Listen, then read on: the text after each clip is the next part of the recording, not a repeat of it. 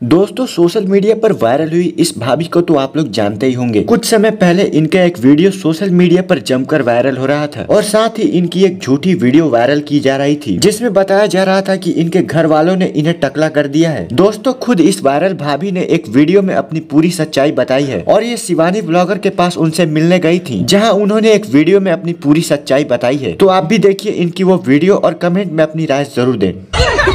भाभी जैसे भागवत में बैठ कर रही थी वैसे कर दियो ये भाभी बे हैं जो भागवत में ऐसे ऐसे सारा कर रही थी। अब यार नहीं पता ये सारा किनके गाय कर रही थी बताओ किनके गाय कर रही थी? अपने हस्बैंड की तरफ़ कर रही थी। कैमरा मैन तुम्हारे ऊपर जूम काय करे तो? अरे मेरे हस्बैंड थे उनके पीछे ही खड़े थे जस्ट।